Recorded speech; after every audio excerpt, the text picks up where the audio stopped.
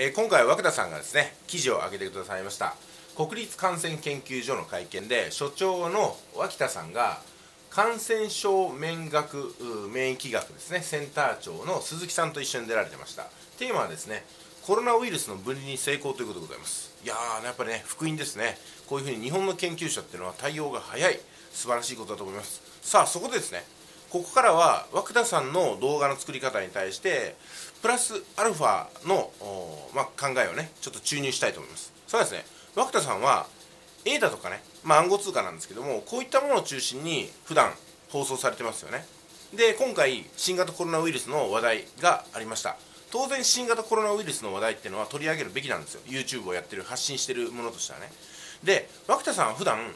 暗号通貨とか ADA に対しての発信してますからこの新型コロナウイルスが ADA の価格に与える影響という切り口でお話しされるともっと良かったんではないかなというふうに思います要するにですね